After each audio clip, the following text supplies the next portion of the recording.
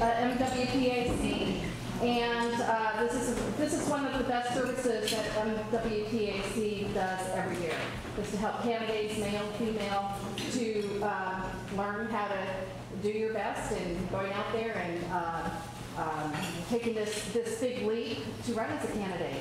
So I want to thank everybody for coming, uh, candidates and all, all of their supporters, and anybody interested in running as a candidate at some point maybe. And then also to all of our speakers. So um, just to be brief, uh, does everybody have a, um, a program? Okay, so we'll just uh, hopefully follow the program and keep it rolling so everybody can leave at a, at a decent time. Uh, I just want to let you know about some of our upcoming events that we're going to be having. Um, on September 22nd, we have a candidates endorsement night. That's going to be at the San Rafael City Council uh, uh, chambers in San Rafael. In October, we're going to have a reading of a book by one of our members, Lynn Bornstein. Uh, In November, after elections, we have our annual election wrap-up event, which is always very well attended. And then lastly, in December, we're going to have a holiday party. So it's going to be, you know, after the endorsement night, kind of fun after that. So hope y'all can make it. Just uh, hope everybody's on our email list. Um, Like to thank uh, Barbara Matas and uh, Ed Forrest and their, the program committee.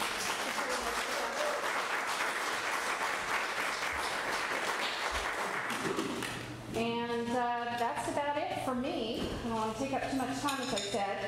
Um, First on the list is, uh, on our agenda, is um, Pam Michaelis. Michaelis, thank you very much from Emerge. Welcome you, thank you.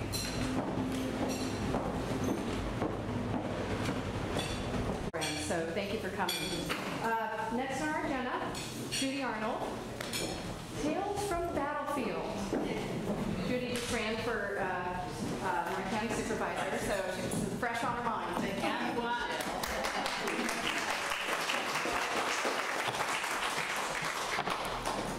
Yes, I did win, so that was good. Um, I'm just going to tell you a little bit about my campaign, and if any of it relates to you as you're thinking of running for something, maybe, maybe it will help. My campaign really didn't have just one opponent. Um, It was about the Tea Party and property right ac- activists. It began 20 months before my election, and there were starting to be letters to the Novato Advance that were very personal, personally insulting, and then a Facebook uh, ad campaign where they would ask questions and then say, why, Judy? And they were things that were really mostly lies. Like, for example, they said, Judy, you bought an SAP computer system that was $30 million fa- failure. Why? Well, the Board of Supervisors neglect, bought the, the uh, SAP computer in 2003, and I didn't take office till 2007. So it, it, it just, things like that just kept going and going. The Journal of American Planning Association published a case study of the Bay Area and Atlanta, Georgia. And they wanted, the, the Tea Party and the property rights advocates were very involved in. Um, The, the one Bay, the uh, Bay Area one was, of course, the One Bay Area Plan and the PDAs. The case study that, that the professor studied in Atlanta dealt with a, a property sales tax to bring in a, a tr- a transit system. The interesting, th- and if you're interested in getting a copy of that, please, you can call my office. But the interesting thing about the Atlanta one was that it wasn't just the Tea Party and the property rights advocates that came out against Plan Barry, uh, the transit plan in Atlanta. It was the Sierra Club and the NAACP. So this movement um, is very real and is happening, and I think it's important that we recognize that. Um, And I mentioned this, this background information that I just told you about because um, I started out my campaign talking about what I'd done as an incumbent. And I brought my five copies of my five mail pieces there. And so I talked about what I'd done for traffic, what I'd done for budget and pensions, and what I'd done uh, with a program called Vial of Life. Then we had phone bankers that were phoning, and we, I had walk precincts, of course, and we did a phone banking five nights, uh, four nights a week, six, six different volunteers every night. Some of you were there, and I thank you for that. Um, And then we began, the phone banking began to tell us that um, this negativity and these, these mistruths were, were, were paying off. About that time that we started phone banking, my opponent did robocalls. And again, it was the same thing. It, it- it would say, uh, you know, did you, uh, I'm calling because did you know that Judy Arnold voted for a $300,000 transit system to go in just for, uh, to take a survey on why people don't ride the bus? Totally fabricated. And so we decided we weren't going to do robocalls because people hate them. I got so many phone calls from people saying, I hate these. In retrospect, we should have done it, and I should have called myself and said, this is Judy Arnold, and what you just heard wasn't true, and here's the truth, and call me. But, you know, that's hindsight. Uh, now, my opponent was, a- is a Democrat, and that's what I think really is important that we look at, because her verbiage was vintage Tea Party. Uh, She used phrases like no top-down policies. She started local organizations. She's one called Citizen Marin, which by its very name means that any refugee from Latin America probably isn't welcome at that organization. And uh, there were other little neighborhood organizations, which is all part of the strategy of this group.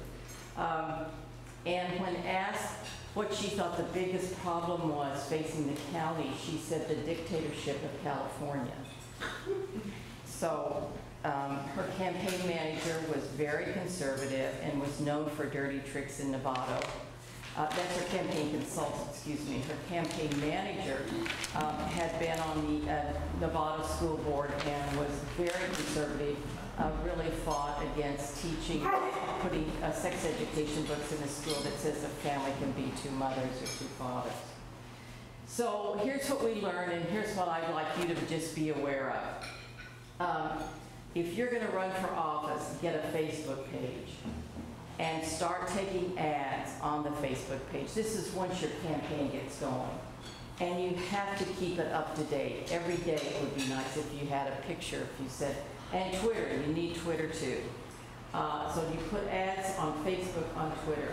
Um, And if there are mail pieces that come against you that are filled with untruth, you, you need to answer them in mail. Now, you'll see back here, I have three, you know, very nice mailers about everything I've done. My last two mailers were where we just decided, no, we're gonna have to answer back. And so the one with the, with the police dog on it and the one with kind of the, the cartoon man, those are the ones, you can take a look at that. Um, the phone banking, oh, all right, I mentioned that. We saw nationally in this June 3rd election that the Tea Party was very dominant in a lot of, of, uh, of campaigns. Like, you know, they even def- defeated Republican Eric Cantor that they thought was too, um, was too liberal.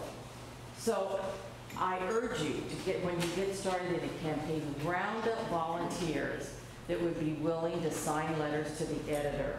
Because if letters to the editor come about you, you've got to answer them. And you can't just let that lie there.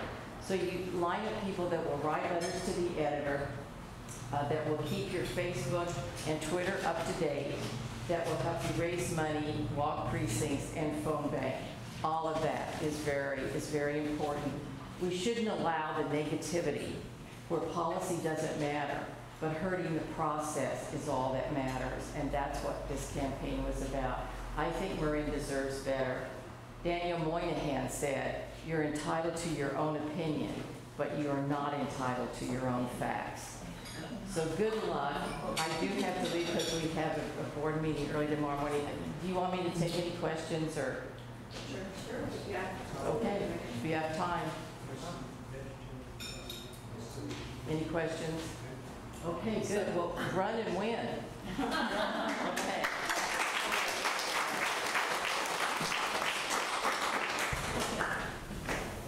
And I left the mail back there.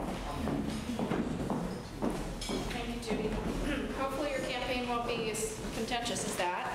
Um, Do fact checking on your Facebook. Anyway, um, okay, so next on the agenda, uh, campaign fundamentals, Dottie Lemieux and Lisa Stampley, Green Dog Campaigns. Welcome. Do we want to do a quick introduction of everybody? I mean, we're, we're kind of actually running for one time ahead of time, so I think we have some time. So if you want to refresh your plates, This is delicious Okay. food here, and uh, Or should we want to do that? Why don't we do that after? Okay. Okay, see how you guys go. Okay. Thank you. Okay, I'm going to pass out some articles about, mostly about fundraising. I'm going to talk about fundraising a lot tonight, which I don't usually do. But it's, the question that I get asked most often is people want to know about fundraising. So there's four articles. They're not all about fundraising, and they're, they're all two-sided. Um, The most important one, actually, is, is called What Voters Really Want to Know When They Ask Why Are You Running? So I'm going to start, there's two separate sacks here, and there's two separate sacks here. Yeah, well, almost, and there's some on the back table too where Judy's stuff is. So you can go back there and get that. So the first question, uh, you'll be asked, why are you running? This is what every person that's uh, running for office gets asked. So who's the most important person in your campaign? It's not you, it's the voter. This is a little picture of a voter. You probably can't see it very well, but I'll pass it around. And it says, like, I usually do a PowerPoint, but we didn't have one for tonight. And it says, what can you do for me? That's what the voter wants to know. When they ask, why are you running? They want to know what you can do for them. So be sure that you are able to articulate how your campaign will make a difference to that voter. And how, and then you have to know how you're going to get there, get elected so that that voter gets to vote for you. But before we go any farther, I want to see hands of everybody here that's actually running for something. And can you all introduce yourself and tell us what you're running for? We'll start over here with Evelyn. Evelyn Foster, and I run for the Marin Healthcare District Board. Okay. I'm Christine Coonan, I'm running for the William Stinson School Board. This table? Everyone, Jennifer Kershaw, I'm running for the Healthcare District Board as well. Okay. And was someone else at this table? Oh, Liza? Lisa Cross, Lisa? running for Marin Municipal Water District Board. Nicole David, I'm running for the San Mateo County Harbor District. So my friends down in San Mateo. Should say Corte Madera. San Mateo. Okay. San Mateo. Was that it? Do you have more? Oh, Mike Whipple, running for the Marin Healthcare District Board. Okay, so we have three healthcare district candidates. We have a school board candidate, water board, and you're, uh, she's an appointed incumbent. She has one challenger, I know. In the hospital board, there are six of you, and you have four in your race for three seats? Correct. Okay, so, and and there are incumbents in all of these races. We have one of them here. Any of the rest of you incumbents? Nobody's an incumbent, okay. Lisa, you're the only incumbent, and then Nicole has come all the way from Santa, um, San Mateo County, and she's running for the Harbor District there. So she's got the whole county of San Mateo, which is a very large district to run in, bigger than the healthcare district, which is probably the biggest district we have here that you're running in. So the- those of you who are running against incumbents are going to want to be able to say why they should vote for you and get rid of the incumbents. So that's something you have to think about, a way to articulate why you are the choice for the voter. So there are several components to campaigning. You need to have a strategy. You need to know how many votes you need to win. So you need to know how many vote, voters there are in your district. And then you need to know how many are frequent voters. That is, how many of those voters are going to vote in your district. And this is a list that just lists all the voters in Marin County from a few years ago for a, a, uh, a race that we did, and it gives, it's a real quick one-piece snapshot. It says how many voters there are and how many households they live in. And they can get this for, And you can, and you can get this, you can go to the county and you can get the list for $30 or something, but it does not, it's not easy to use. So we buy these lists from a vendor. You can get that information, it's all online that I'm handing out. But if you want to get the list of, uh, broken out for walking, for phoning, for mailing, you can get it from these vendors. It's, it's fairly inexpensive, and they, and you just print it out on your computer as you need it, or you get it sent to your mail house for your mail to go out. So how are you going to get to these voters? Once you've identified, say you need 5,000 voters to win, and you can also look at the results from the last election, all that's online. Uh, County of Marin or some of the towns have their own websites that have that. You need to know how you're going to get these voters to vote for you. So you're going to use a variety of methods. Uh, Mail, we talked about, uh, Judy talked about mail, and we have some samples, mail, and um, Lisa is going to talk some more about the mail because she's, she's the creative half of Green Dog Campaigns. which I should have said at the beginning, I'm Dottie Lemieux with Green Dog Campaigns, and this is Lee Stampley from Green Dog Campaigns. Um, We run a lot of campaigns in Marin and elsewhere. So we've got some samples of mail. We've got Barbara Heller's mail, which is one of my favorites that we did for her last reelection campaign. And we talked about how there had only ever been three women elected to the San Rafael City Council, and Barbara was one of them, and she, we had to keep her. So I'm going to hand these to Lisa, and she can pass them on. Um, So you're also going to want a grassroots component to your campaign, uh, walking, phoning. You'll have to get those precinct lists, get maps, stick them up on the wall, or have them in your computer, however you want to do it. And get volunteers who are going to go out and walk precincts for you with a list in their hand. It's going to look something like this, which is, this is really poor, a poor, want, I couldn't find one, so I got it off the web. It's got the name of the voter, the address, the phone number, and it doesn't have uh, all of it. This is from some county in some other state. Support. Um, It should have what party they are, how many times they voted, their age, everything you need to know about that voter. And then whether they support you, they don't support you, they want a lawn sign, they'll volunteer, they're not home, whatever. Information about the voter, you can fill it in. And then use that on election day to get out your vote. And uh, Steve Burdo is going to come up and talk about how you do that in more detail. I'm just trying to get, I'm trying to get through this to get to fundraising. So you're going to use social media, as Judy talked about, Facebook, Twitter.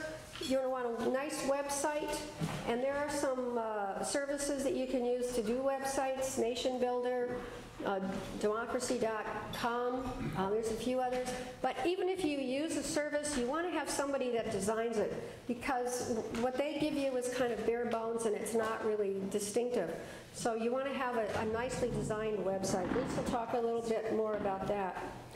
And you want to think about whether, with your campaign, whether you need to do electronic media like TV or, a- or uh, radio ads or even web ads. Uh, we usually do videos of our candidates and we put them on the, on the website and then we use them, um, we link to them through web ads that we can put on newspapers or even TV stations' websites that people will go to and you can uh, narrow down your focus down to the uh, zip codes that you want to reach. So even if you're going to the um, Channel 5 or Channel 4 big TV network, and you put a web ad in there, it's going to just show up for the people who live in the zip codes that you want to see your ad. So it's not really very expensive, and it's a good tool, and it gets people to your website where they get more information. So you also want to do, keep a good database and send out email blasts to your volunteers and to people that you've collected in your database so they know what your campaign is doing, when you're doing walking, when you're having parties, uh, what's happening, how excited you are, you've raised, you've reached a goal, or you have a dead, fundraising deadline coming up and you need to raise 10,000 more dollars by Friday. I think we all get those, right? Urgent, urgent, send $5 now and help. Usually it's Senate or somebody in Michigan or someplace. But we can use that too locally, and it's very useful. As long as you have all the other stuff. I mean, you really need to have a whole integrated campaign because one of these components by themselves will, will not be enough. So when you do your messaging, your, um, I'll use Barbara's again. When you do your, your mail, say, or even what you're, what you're going to say to the voter on the phone or at the door, you want to tell them why they should vote for you, what, what you're going to do for them, and why you're better than the other person. So we sent this to women only in um, San Rafael, and the message here was uh, there only have been three women, and then we had pictures and quotes of the other two women who had been on the city council. And Dottie Briner was, was one of them, and a while back, and Joan Thayer was another one who was at the time our county assessor. So people knew who she was. And then inside, we have some more women. And we have a nice uh, picture of three generations. Uh, This is Bridget Moran. She runs the farmer's market, and her daughter and her daughter. And they're meeting, Barbara, at an event that the city council has on farmer's market nights where you get to meet a city council member. So then on this side, we gave the the verbiage. She's been there for four terms. She's done a great job. She brought you this, this, and this. And in the next term, she'll do this, this, and this. So she's done stuff, she's gonna do stuff.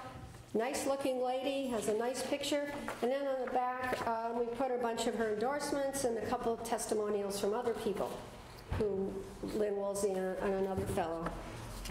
So you just have to have a message, and you want to be consistent with your message and with your look of your materials, and make sure you're not saying one thing to the realtors and another thing to the environmentalists, because they're going to find out that you've said a different thing. So make sure that you're saying pretty much the same thing. And be succinct, use bullet points, use large type. The people who vote are generally the ones that are a little bit older, so you want to use large type. Uh, Make sure you're consistent, you're relevant, and you're graphically interesting. You want to have material that stands out from the crowd so that they have a reason to open it. This was something for Diana Conti. We'll at least talk about ours. Um, Who are the people you're going to have in your campaign? You're going to want a campaign consultant, maybe. Um, Some campaigns, you're not going to have a consultant, but most campaigns nowadays, you're going to want somebody to work with like us. There's, a- there's more consultants here. Steve Burdo is one, Paul Cohen in the back, he's another one. So you got a lot to choose from. Richard Foldenauer over there. If you want any polls or anything, Richard's your man. So if you need a consultant to help you put this stuff together, do your mail, uh, help you with your messaging, help you find those voters, that's a a good thing. But if you can't afford that, you want to have somebody help you. You want a campaign manager, some um, uh, volunteers. I mean, that's one of the, the most important thing you need is people to help you. And you need a treasurer. You need someone to keep track of your money coming in and going out and make sure that you meet those deadlines for the FPPC filings because you don't, you'll be in trouble. So make sure that you know all the rules in your district and make sure you know that you're meeting the deadlines and doing it correctly. And then you might want a kitchen cabinet, which is a group of people who know different issues that relate to your race. And those people will talk to you about um, transportation or the environment or uh, jobs or various issues, whatever they might be, that you don't have to know every single thing because you have trusted people you can go to. And then you need people to give you money. So to get any of this stuff, this mail, something to hand out at the door, um, all the things that you need to run your campaign, you're going to need some money. So that brings us to fundraising. And you can hire a fundraiser. I think most of the smaller campaigns locally don't hire a fundraiser. But a fundraiser is not really going to raise you the money. They're just going to help you identify who has money and help you uh, plan your time for raising that money. So there are different ways to raise money. One of the first things you want to do is send out a letter. This is a letter we did for Greg Brockbank in his last campaign. It's just simple one page, keep it to one page, use highlighting or bolding or something, make sure you ask for money, and you put a remit envelope inside, which is, you probably have those, and I don't have one. But, um, yeah, here's one, one of these little things that you put inside, so the money goes in there, and they send it back. But that's not going to get you money. The most important thing is a follow-up. You need to call the people that you have, a- have sent this letter to, and you need to say, "Hi," after you've given them a few days. I called, I sent you a letter, did you get it? I hope you'll support my campaign. They might totally have forgotten that they ever got a letter. They might um, not even know who you are. So you might have to explain to them who you are, why you're running, kind of remind them what the letter says, and then ask them for money. That's the most important thing you can do is to actually make the ask. And the candidate herself has to be the one to do that. You can't delegate that task to anybody else except for certain things like um, fundraising events or maybe small donors. You can have people call in. Uh, You can chime in anytime. I'm saving her for all the beautiful artwork. so when you when you're calling to ask for money, um, you want to set aside time every day to do this. You want to set aside, ideally, they say two hours a day. Every day. That sounds like a lot. But you're going to have to dig up people's phone books, uh, your phone numbers out of your book, or your, your phone, or wherever you keep your lists. You're going to have to know what you're going to say to the person. You have to know about the person. How much money can they afford to give? What do they care about? And then you want to have a, a sheet or some, something that you write on when you talk to them. And the best thing to do is to start with your friends and family. This is called the Circles of Benefit. It's, it's something put together by Emily's List. I think you've all heard of that, them. They're, they're uh, Democratic Women's, used to be just fundraising, but now they do a lot other campaigning for Democratic women. Stands for early money is Sta- like yeast. Say it loud. Stands for early money is like yeast. Early money in a campaign, like yeast, makes the bread rise. We Right. want our bread to rise? Do we want our bread to rise? Yeah. Of course. Yeah. Of course. Dough, it's called dough. It's called dough for a reason. so those of you who are candidates, you start with yourself. Can you put some money in your in your campaign? Can you put a little seed money in there to help yourself so that when you go to people, you can say, I've invested in myself. Will you invest in me? And then you go to your friends and your family, the people who know you the best. Those people who will give to you just because they're your friend, you went to school with them, they're your Aunt Josephine in Michigan, they're somebody. Alumni Alumni association, your Christmas card list. So just dig up wherever you have lists of people that you consider personal relationships, people you work with.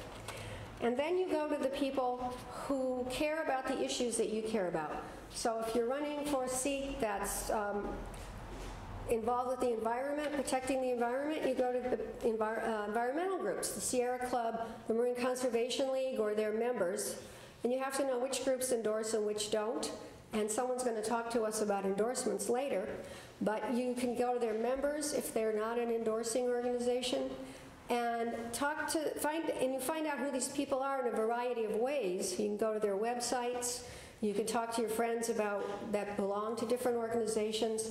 You can also go to those FPPC reports that are filed by other candidates who have run either for the same race that you're running for or for a race that overlaps somehow with your race and see who gave them money. And then see if you know those people because technically you're not allowed to use those those lists for fundraising, but you might have your memory jogged and you might think, oh, I know that person. Or, oh, they gave to that, that person, she can give me $500. She, she's only giving me 100 I'm going to go back and ask her for more. So it's just a good way to find out who cares about the issues that you care about. And then you. You're never a loser when you fundraise. Right, You're yeah. never a loser. Let's say you've made this touch point, you've called someone, you've talked to them. Hopefully you do the art of the schmooze a little bit first. Hey, how are you? I got your name from so-and-so, or do you remember when? What are you doing now? What do you care about? By the way, I'm running for this office. I really care deeply about this office. I've heard some things are happening in our community that I don't like. What do you think about those things that I just mentioned? Well, this is why I'm here. And I'm also here, by the way, to ask you for your support in whatever way you can, materially or just by your endorsement. But I really need the support of your financial help because with it, I can afford to mail and I can afford to reach those o- voters who, like yourself, want somebody in office that represents their interests. Do you see what I'm doing? I'm doing you, me, you, me, you, me. I'm making threads of connection in that conversation. It's going to open this up and hopefully let up the dollar tap. But if if you get to the end of that conversation and it's a no, you've just gotten some gold. You've just gotten somebody to clarify what they're concerned about. If you, if you report on this, and after every conversation, you should report what you talked about, what was said, what you learned about someone else. This is going to help your messaging, but it's also going to mean that you have a memorialized count, account of that conversation. You can call that person again. You're still a winner. Even if you didn't get a dollar, you're still a winner. And that, and if you think about yourself that way, it gives you the umph to go out and pick up the phone again and make the next call. You're always a winner when you call for fundraising. Very good. Thank you. So, so you need to yeah, uh, have some connection with the person and talk to them. But it's also important to make the ask. You have to, at some point in that conversation, say, can you give me $500? Because you know that person can give you $500. Will you give me $500 to help this campaign get, go forward? And then, the next thing that you do is you shut up. You wait for them to answer next. It will get uncomfortable. But at some point, that person's going to say, uh, well, how about 250? And you'll say, thank you, that would be great. I really appreciate that. Wonderful. That's wonderful.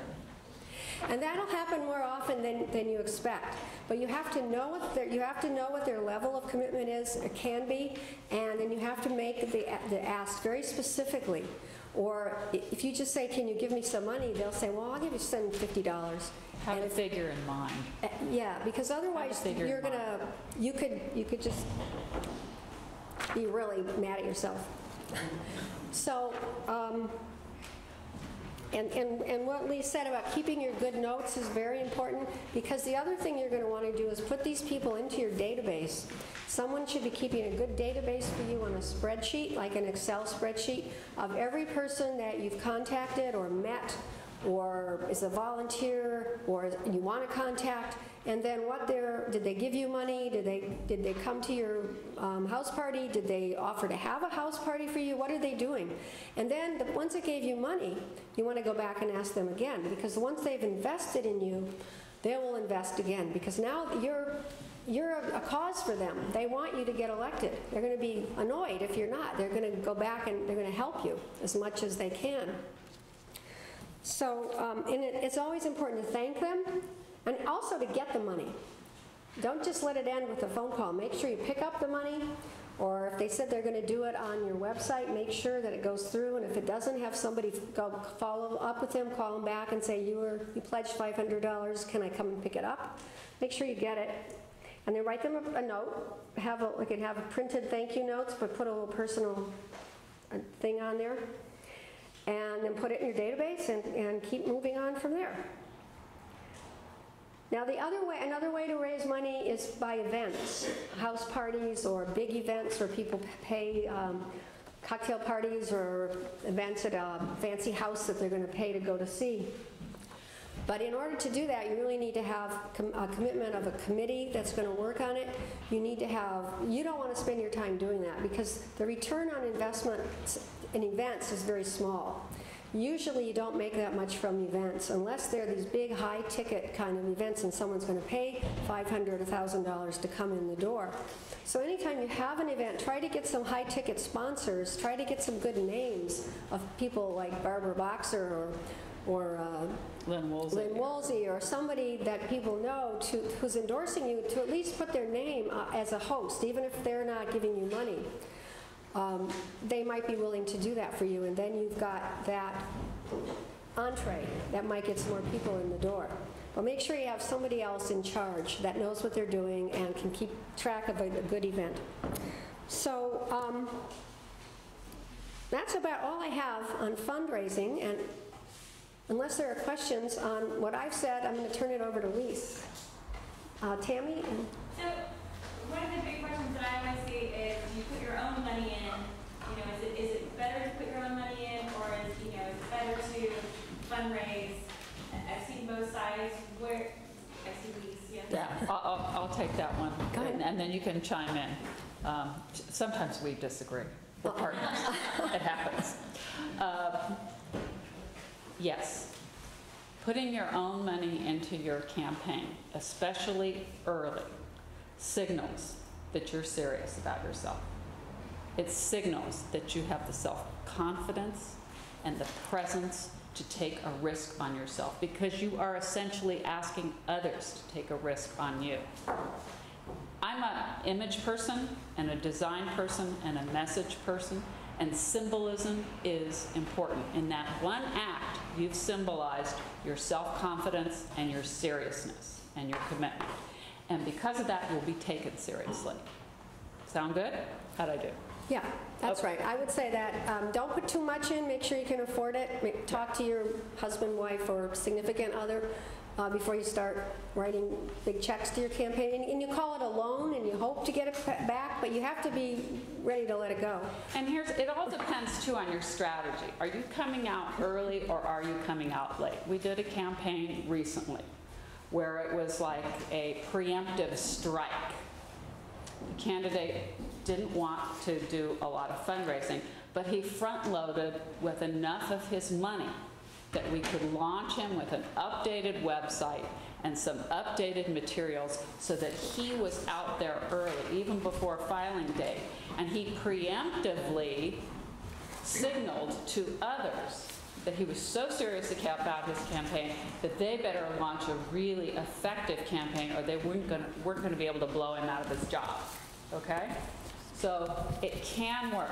And in this case, front loading saved, this person also was very adverse to fundraising.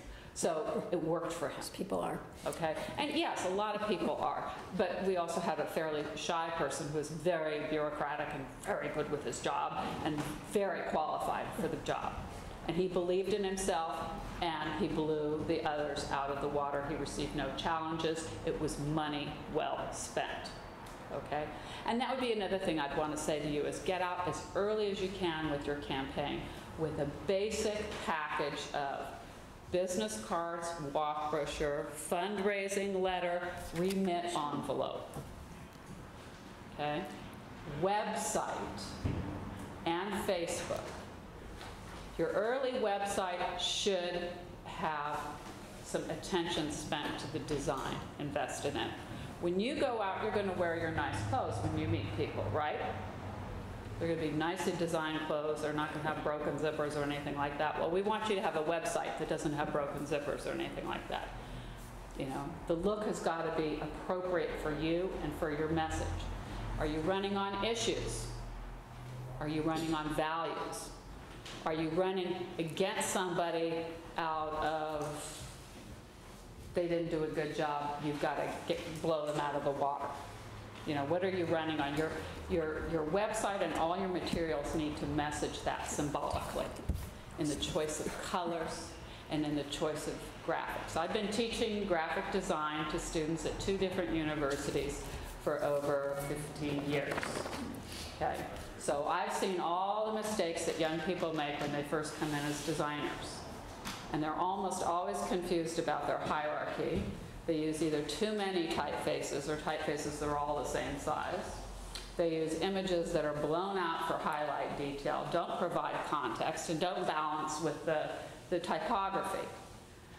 Choosing a firm that has, a, has good design skills, good samples that work, is an asset to your campaign, and it's worth something. Okay? Believe me, your nephew who just got out of the Art Academy may not be the best choice for a political campaign. Okay? We had another question here. Yes. And then we I have a question and a comment. Seven. Um, uh, The website smartvoter.org is from the League of Women Voters, and I was really surprised at the demographics. Everyone has a free webpage, and this was created, you know, before web presence was important for a candidate. Right. But in the last election, only 40% of the candidates actually created a smart voter website, but it got 9,000 hits from here in So what do we learn from this? So we learn, to make sure and You do your Smart Voter website, Voter. and that it links to your own website, and that your Facebook page feeds people to your website, and that you have a place on your website that can gather donations from people. It is very important in these smaller races, because you can't get ACLU or anything like that, but you can put a PayPal link in there, okay? That you do that, and you drive people to it. You do an Evite or an email invitation to a fundraiser, make sure you've got that front and center on your webpage, so it, so it's, you're constantly refreshing that homepage look. Okay? Good designer can set you up with it, set you up with the tools, and train you how to update it yourself. Okay? And the question I had was, what's the average cost for a campaign, say for city council or a local It race? depends. Depends on the Where, where are size. you running? Are you- Well, I was thinking maybe some, uh, either school district, city council, so something a little bit smaller yet compact. So not necessarily to go on the paperwork, but to drive. Well, um, each time you mail, it's going to cost you 45, 49 cents, right? Some, Well- yeah, right. So, Drive online. yeah, so you, you round round it off to 50 cents. So reaching each voter by mail, it's going to cost that much. So start with some real hard numbers, frequent voters. Did you And put if it's an off-election year, look at off-election year. Right. Okay?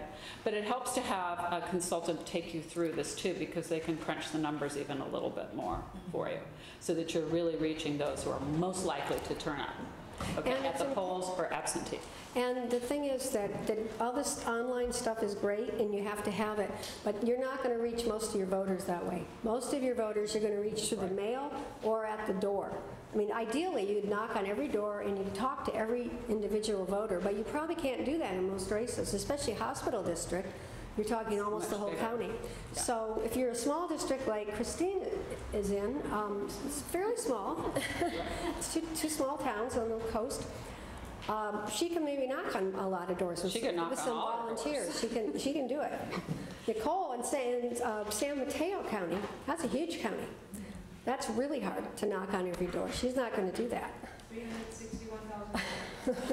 So you need, so you need mail, you need things to hand out. These, these are some things that we've used. You have to have something to put, that they're going to get at their, at, at their door, either under, uh, under their mat or hanging on their door, door knob, And uh, you have to hit them several times. You have to hit them three or four times at least. So with maybe three pieces of mail, maybe two pieces of mail and one piece that you hand them at the door if it's smaller. Um, Signs, they're not that, the most important, but most people want signs to pe- put in people's yards. And we actually have a few more questions. I know that we're almost out of time. Yeah, So we have Nicole had a question? Here first, and then And then, yeah. Yeah, I was just wondering how you link your Facebook site to your website. You You mentioned that, that you want to direct it back to your website. Well, you're going to create links to, that track back to your website all the time. Like, let's say you make a post about a certain event coming up. Yeah, attend my event, you put the hypertext link right in your message. You know, as much of that as you can. I would make sure there are links in every single post that you create on your Facebook page. Yes. How do you suggest reaching out to you, to unions that currently support an incumbent? That's not our question. I think we have somebody here who's going to take that question, right? What was, I I missed it. How do you reach out to unions? To unions? Oh, yeah, we actually have somebody here who's going to talk about unions uh, And she's an expert, so let why don't we, if you can, if you can stay to the endorsement part, you'll hear about that. Can you do that? Okay, that's, Yeah, because she is from the North Bay Labor Council, so she's the best person to answer that question. Uh, Yes, in the back. I was, one of the things, uh, no, you mentioned was, once you get a donation, to send a thank you letter. Yes. yes, I did, I did say that. Yes, thank you. Thank you, thank you, thank you. is It's the on my most notes. important thing you can say in a campaign. Even if someone's turned you down for money, the important thing you can say is, thank you, you've given me Thank some for your valuable time." information, and I appreciate your time today. I hope we can have a chance to talk again sometime soon, you know? Thank you for your donation, it means so much to me. And then let them in, tell them something personal. This is what we did with your donation. We put it to keeping our website fresh and updated with new and exciting material about our, your campaign. We put it towards your mail, we put it towards this, we put it toward that. Every, your communications are connections. You need to mine all your connections together. Do I think Twitter is really important? I, I think tweets are important because they can provide areas for you to link back or talk about issues that are important. You can go on record about issues very briefly, of course. But it also helps you drive more traffic to your website. But really, folks, most people don't look at the website. You know, most voters don't look at a website. Let's be specific about this. But I think the press does look at them, and we're going to hear from the press a little bit later, and maybe they, perhaps they can comment on that.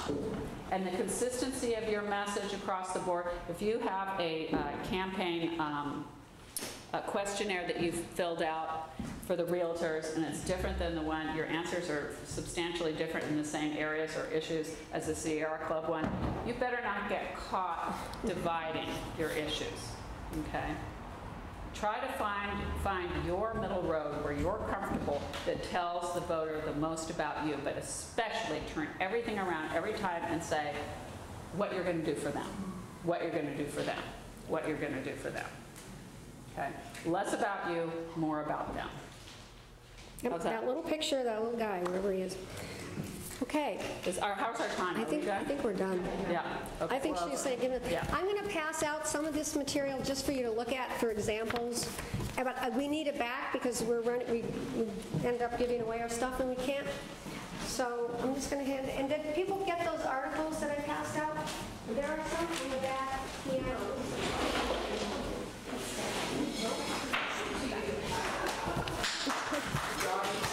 Thank you very much. Audience, Why don't we take a quick five-minute break, and if you want some refreshments, uh, looks like there's some fruits and What is that? Ice cream bar. ice cream bars. We don't want them to know, so please take a couple minutes or something, and he'll be giving us a little information about field campaign. Thank you, Steve. How y'all doing? running out of time. Sounds good. Hopefully I'll, I'll get them quick.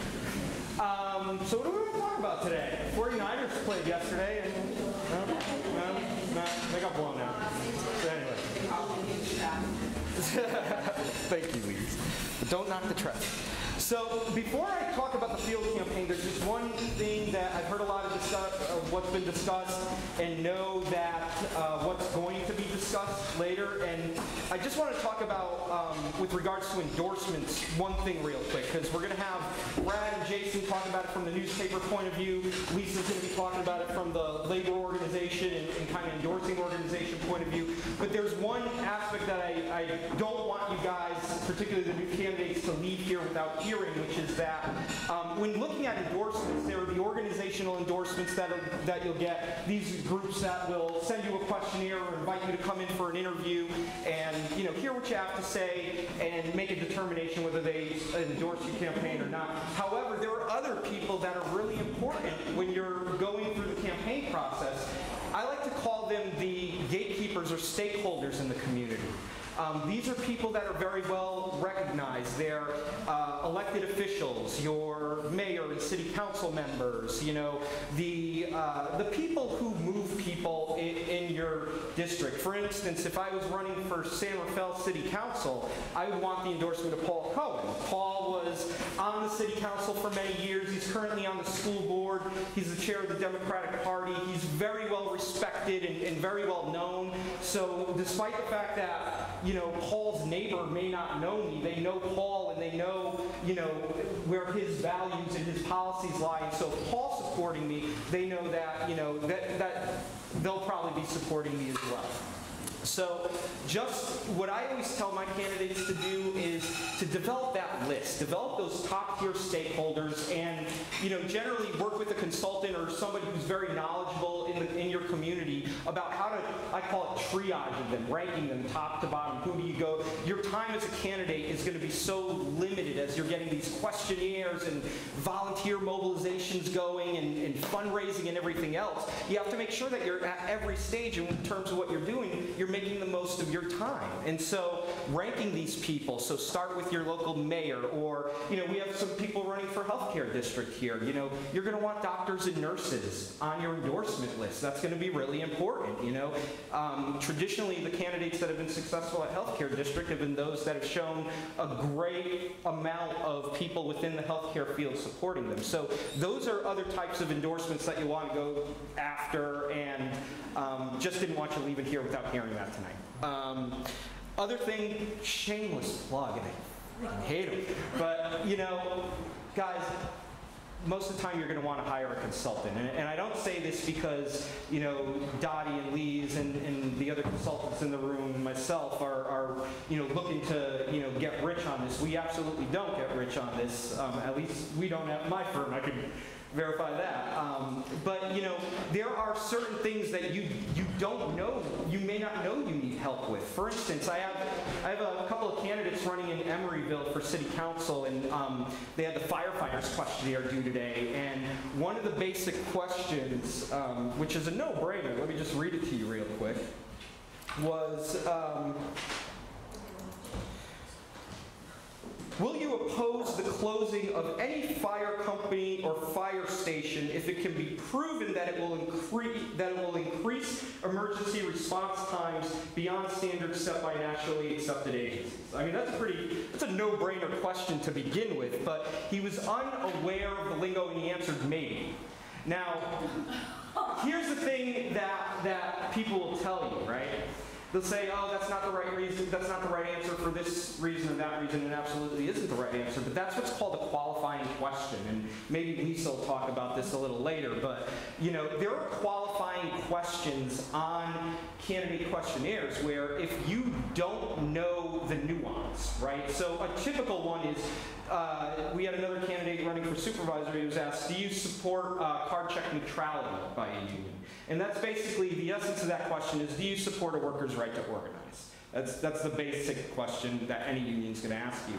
Now, they didn't understand the term card check neutrality, and so they gave this really weird response that made it sound like they weren't. So when I, you know, as consultants, we don't write your responses for you, but you draft your questionnaires and then you give them to us, and we say, oh, that may cause a red flag, and I'd like to talk to you about your position on this. You know, um, I'm a progressive, so I have my own you know, per personal values that I like to, you know, bring into the fold, and I, I tend to be pretty plugged in on the political scene, so I like to advise our my candidates that way, and, and all the other consultants in the room are no different. You know, we, we take pride in what we do, and um, you know, we want you to avoid those instances where if this guy didn't have us as his consultant or decided to go without a consultant, he wouldn't have got this endorsement, and he's a true progressive that he should have gotten just because he didn't understand the terminology.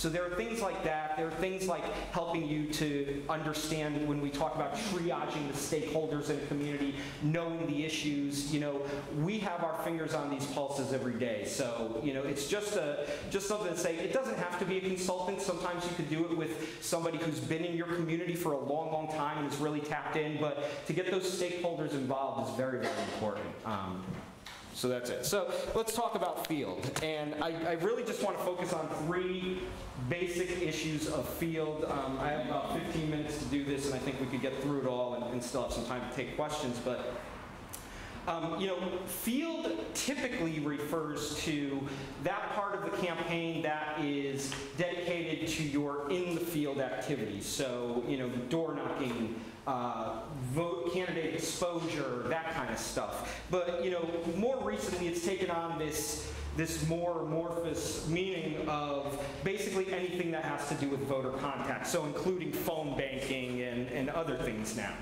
So for the purposes of this presentation, I'm going to discuss field as your complete voter contact strategy. Um, so including phone banking and door knocking and all that other stuff. So the first thing you need to know is um, you need to understand your district. And I, I think Lise and Dottie talked a little bit, bit about this earlier, but you know, every district has a district profile. And right here I have the uh, Marin Healthcare District profile here. And so, um, oh, I'm sorry, I'm saw Salida. This is Marin Healthcare District. So there are uh, 114,999 voters in the district. I should ask you guys first if you need that. but anyways, um, so if you look at that, that's a lot of voters. And if you take, you know, what Dottie and Lise were saying, if you just want to send one mailer, which you shouldn't, the primary thrust of your campaign should not be just held in mail, but in this, day and age, mail is a necessity, and you have to do it.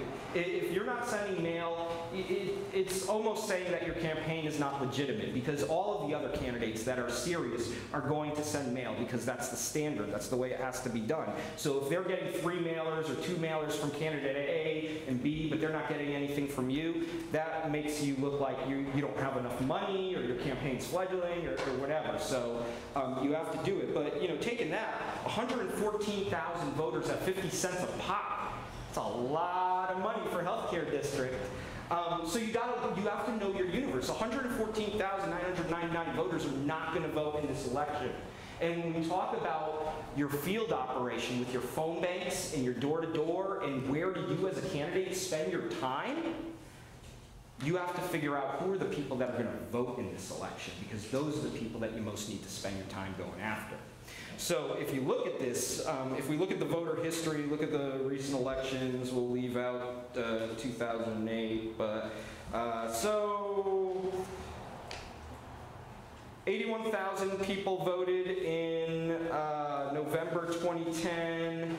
Uh, 54,000 voted in the 2012 primary, 53,000 voted in the 2010 primary, so well short of the 114,000 that registered voters in the district, and it's a huge district. So, you know, you need to cut that down first. And again, this is where a consultant can be really helpful in terms of we know these these numbers, we know how to cut them down, we know how to research voter history and um, you know historical election results and stuff like that to really base the formula of who is going to vote in this. And then it's not always as easy as figuring, you know, what is the historical uh, turnout in these races in, in a given year in a given cycle. But but it's also to think about what else is on the ballot that's going to increase or, or decrease turnout for that matter. You know, is, it, is there a congressional race? When we look at last year, the, the June primary was much higher turnout than any other primary year in California, simply because we had a very contested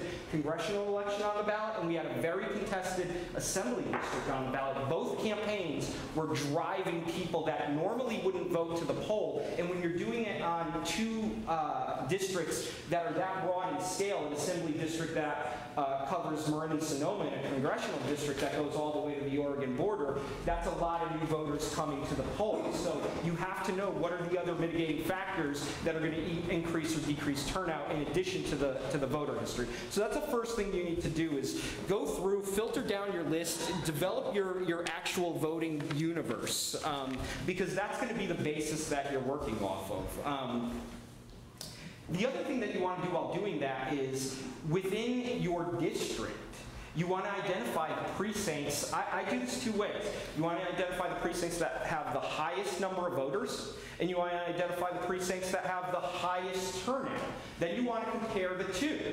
All right, or, and you also want to go back and for those. I I won't get into the whole tiering process, but you generally want to find. You want to spend your time in the precincts that have that are going to yield the most votes for your campaign. So a lot of times that'll be a, a low a low turnout precinct that just has a lot of voters and then sometimes it'll be a very a smaller precinct that has a ridiculously high turnout of voters generally my sense is depending on how big or small they are you're going to want to go with the one with the higher percentage but always let the numbers tell you that themselves or, or your consultant or whoever um, so that's really how you organize your field.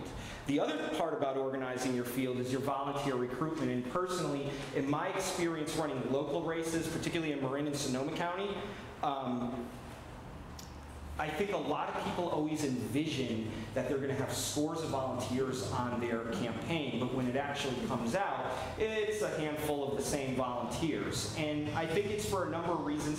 One of them is because our local elections generally don't generate that kind of excitement. It's not like, you know, Congress or the presidency that's on the news every night. You're hearing about it. You're hearing about who called who a jackass or whatever, you know. Um, it, it's not like that. People just aren't in tune. If you don't read the IJ or the Pac Sun or really are plugged into local politics, you know, you're not going to get excited about these local races, and I think that's a, a lot of it. But the other thing is, I, I think as stretched as candidates are, again, fundraising, endorsements, setting up your field, the one thing that candidates are, are lacking to do a lot of time is spend the time calling volunteers themselves. And so one thing that I require all of my candidates to do is in addition to making your five hours of fundraising calls a week, in addition to, you know, making your three hours of endorsement calls, I require them two hours a week of calling volunteers to get them to come out to a field mobilization or volunteer in some way. It doesn't have to be voter contact. They can help you stuff envelopes. They can help you, you know, get something up on your Facebook page, whatever it may be. You know, volunteer recruitment is the heart, particularly of a lot of these local campaigns where there isn't a lot of energy driven. So if you could really do a good job of getting volunteers out, going to spread the word to the likely voter households, that's going to be more effective than anything else. There's you know, mail again is a necessity. Um, you know, newspaper endorsements are very, have a very, very, you know, strong message that they send. But research has shown there's no greater benefit in campaigning than person-to-person contact, particularly if it's you as the candidate, but even if it's one of your supporters talking to their neighbors. Personal contact is an exchange of values. And that's something that you don't get through mail. You may get somebody's impression through a newspaper endorsement about values, but if you could hear it from your neighbor or the candidate themselves, there's nothing, nothing more important than that or more effective. And so that's why I do require my candidates to spend time calling volunteers, getting them out. I generally, for like a small, you know, the local city councils around here, I say if you have a core group of 20 volunteers that are going to help you throughout the campaign, that's a damn good start. That is a damn good start. Um, so the other thing you want to do is you want to develop a database to track your volunteer engagement. So, you know, when somebody says they're going to volunteer, you put them in the database, you say when they're going to, when they've opted to volunteer, what they prefer to do, because they'll tell you, I don't like making phone calls. I'd rather go and knock on doors, or I I just don't like talking to voters. I'd like to help with your Facebook page. You know, mark that down so that you know, and, and when you talk to them the next time, you could say, hey, I know you expressed an interest in doing my Facebook page uh, so on and so forth. So, um, and then again, be very specific when you're talking with volunteers about the roles that you need them to play. You're not going to get anything, anyone to do anything for you if you don't ask. So if you need somebody to help put up signs, ask, ask your volunteer network. If you need someone to help prep you for a candidate debate or just bounce some ideas off of, ask them. If it's door knocking, if it's phone banking, which those should be the ones that you most ask people to do, um, you know, certainly ask. You're not going to get anywhere if you don't ask. No matter how much you think people love you or how long they've been in your life, if you don't ask them, they may not know to do it. Um, the other thing is, uh, that, that. Oh, so the other thing is, early in a campaign, oh, candidates that are here, who has, who has already started going out and talking to voters? All right. Everybody's hand should be in the air, because here's the deal. Earlier in the campaign, again, no more meaningful contact than person to person. That's, that's increased when it's in person and not over the phone. Now, granted, you're going to hit way more people by phone calling them than you will by trudging from door to door to door, up the hill, down the hill, all around the bend. But the fact of the matter is, early on, you want to use those months to go out there and get that meaningful contact. And the greatest place to start is with your signatures in lieu. So you're going to have to, you need at least 20 signatures to get on the ballot. And granted, you should absolutely go and get those 20 people that you know that you want to support you to, to sign that. But afterwards, you should take that form out to people you don't know and use it as a reason to start the conversation. Again, that's something I require of all my candidates is use the signature petition drive to, to start your field operation. Um, so then you're going to be using the, oh, I could be done too. So then you're going to use your, your field operation. You're going to do uh, door knocking early on in the campaign. So let's say, you know, uh, we're looking at November. August and September, you should be on the doors. Late September, you should transition to phone because again, you're going to you're going to touch more people on the phone than you were to the doors. You could get about five contacts on phone to one contact on the doors. All right.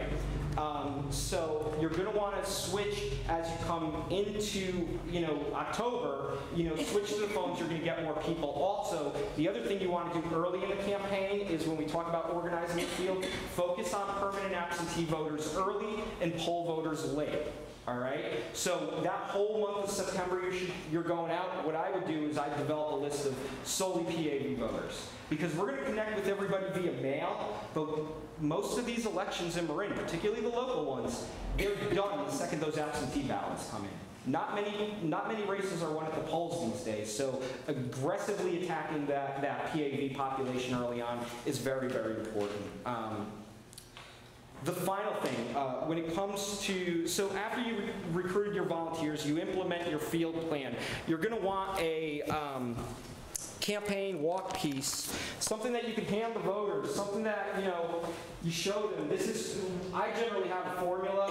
What qualifies you on the front? Your big endorsements. If you have a slogan or tagline, get your graphic identity up there. Show your endorsements on the back. Tell them what you're going to do if elected, and get a nice endorser. That's a that's a simple formula. Put your contact information too. Let make sure they're able to get a hold of you. But you want to be able to hand this to people on the doors. You want it to look good. Per what Leaves was saying, you know, this is a first impression a lot of times. So you want it to look good. You don't want. I mean, I've seen some really ugly stuff that you know just makes you cringe when you look at it. But you know, make sure it looks good. Make sure it's your best. It's the best impression of yourself that you're putting forward.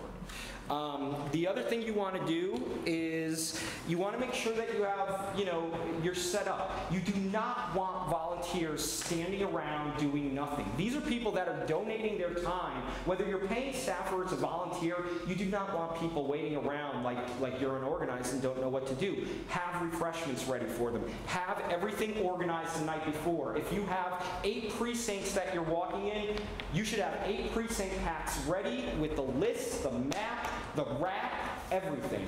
Bring it to them. Do not let them stand around because they're going to be like, okay, I, I have two hours of my time. I've, I've used one of them just standing around, and now I'm going to talk to voters for half an hour. And they, it doesn't make them feel like they've accomplished anything, and that, that uh, increases their chances of not coming back to help. So be prepared. You know, make sure everything's good. Again, this is something that a consultant helps you with. Um, so, so it makes a lot of sense there. Um, and uh, the final thing, and, and this is very, very important, thank them. Thank them. You have to, I, I say thank a volunteer at least three times, and then thank them again. Because, again, these are people that are coming out because they believe in you. Um, Pizza goes a long way. Pizza goes a long way. I'll tell you just a really quick story. I ran for office last year, and um, there was somebody who uh, I know this guy from prior work with nonprofits in San Rafael. He's very, very low income, and um, he came to one of my field mobilizations one day, and he said, "Yeah, I took the day off from work to come." And this guy, one day of work to him is a considerable amount of income. And I was just blown away. And, you know, we had the field mobilization and everything, and I, I thanked him, and then I called him up that night and, and thanked him again. And I remember just, like, talking to my wife afterwards. I was like, Jesus. I was like, this guy just gave of his time like that because he believes in me, because we work together, we whatever. And he was, I was so touched. And, and you know, as somebody who's done campaigns for a long time, you, you're kind of surprised by those things that you know you see all the time. But it was very, it was very meaningful to me, and it's that's why I would tell you, thank your volunteers ad nauseum. You can never thank them enough. Okay, thank you. Take any questions?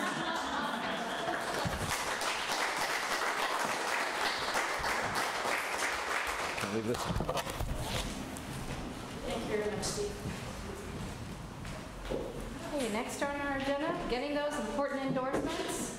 We have Jason Walsh, formerly Pa- uh, Pacific Sun editor, Brad Breithaupt, editor of Marin Independent Journal, and Lisa Maldonado, ex- uh, executive director of North Bay Labor Council, and our own, very own uh, Maureen DiVieva, um, Marin County Youth Democrats, Young Democrats.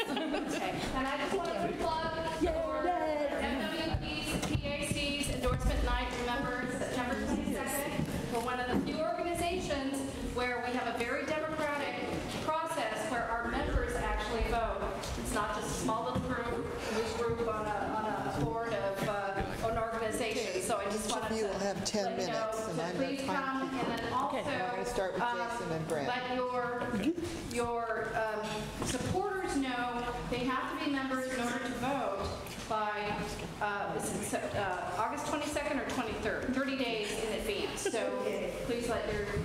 supporters know if they want to vote as members of our organization to get those um, membership dues in. I think uh, maybe Gina, you could let us know at the end, okay? All right, thank you. Um, So why don't we just uh, start with Brad? Is that okay? Oh, go ahead. Oh, Jason, I'm Jason. sorry. We already You- flipped it. You you guys are, okay, great, organized, thank you. Hi, I'm Jason Walsh. Uh, I was the Pac Suns, the Pacific Suns editor uh, from 2006 just till recently. In March, I took a job at a magazine publishing company as managing editor. But um, uh, the Sun, I'm still a contributing writer, and uh, I'm still in the staff box for the Sun, and my email address is still open at the Sun, and I'm an advisor to the editorial team. And I still do the heavy lifting for the endorsements because I've done these, I guess, the past seven years. and I've spoken at this event for four or five times now. And uh, uh, one of the things that uh, always happens is I, I talk about the Pacific Sun a little bit. I talk about, I guess we've been around for 51 years, and our endorsements mean a lot. And I try to carry on sort of the uh, tradition the Sun's had and sort of its history of how it endorses the types of candidates and causes and uh, uh, issues it leans towards sometimes more than others. And um, it always ends up with there's a lot of questions at the end of the Q&A, which takes up a lot more time than me talking about myself. But uh, I always wish there's certain questions I always wish would, would be asked that are never asked, and I always think of these as I'm writing out the endorsements, and the candidates have invariably failed to ask these questions. So I wrote some down, and this is completely self-serving. These aren't questions anybody would probably really ask, but I wish they would just once, just for me. Should I bypass the press and run a grassroots campaign pledging not to seek endorsements or donations? Yes. If you want to lose. Uh, the press, the press is here to ask questions and to give opinions when in the endorsement process. And they may be dumb questions, they may be foolish endorsements, uh, but they serve a purpose. And if you if you give off the impression that you don't want to answer the questions or take part in that process, which is ultimately to inform voters, um, it, it's not going to do you any favors, and it won't lead to any endorsement. Uh, oh, the uh, the endorsements process is starting, Jason. Um, and I know you might be sending me a questionnaire or calling me in for an in-person interview. Um, but you're an investigative journalist. You find me, right? Well, I'll tell you, Nellie Bly wouldn't be able to find some Marin candidates sometimes. There's no email address, there's no phone number, there's no website, there's no Facebook page. There's a website, but there's no phone number, there's no email address. Definitely, definitely reach out to us, jwalsh at pacificsun.com.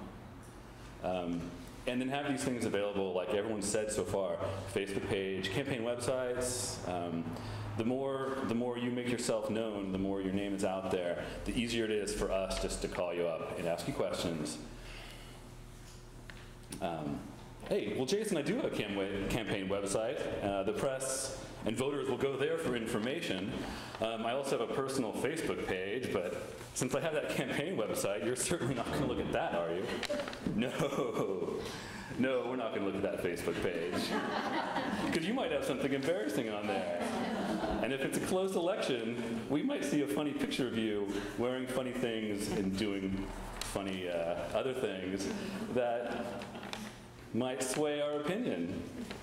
So yeah, no, we're not going to look at that. Um, here's one that I wish a, an assembly candidate a couple years ago had asked. Um, hey, it, it's okay if I bring my campaign manager into the in-person interview, right? okay, let's see, your campaign manager is only in the interview either to answer questions for you, to keep you from saying stupid things, or to keep you from saying what you really think. Now, you could, your campaign manager can be in there and not say a word. We will leave with the impression that they're really worried that you might say stupid things, that you don't know the issues, or worse, you might say what you really think. Keep the campaign managers out of the interviews, please. And uh, here's one that comes up the most frequently, and I'll finish off with this before I actually do answer some real questions.